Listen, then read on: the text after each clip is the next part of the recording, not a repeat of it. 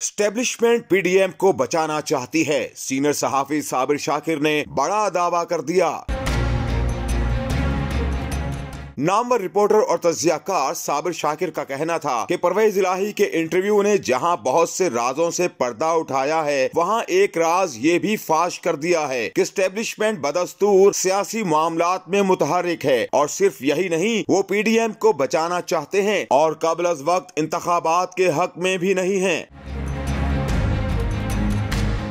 Senior सहाफी ने मजीद कहा कि जनरल बाजवा पहले भी गैर सियासी नहीं थे और अब भी नहीं हैं। उन्होंने आर्मी हाउस के ड्राइंग रूम से निकलकर अपने ड्राइंग रूम में सियासी बसात बिछा ली है। इब्तदाई मंसूबे के मुताबिक वो शहबाज शरीफ के ज़रिए मियाँ नवाज़ शरीफ और मरियम नवाज़ से इंतकाम लेना चाहते थे। लेकिन लीगी नायब सदर की जारहाना हमत अमली की वजह से ऐसा करने में नाकाम रहे।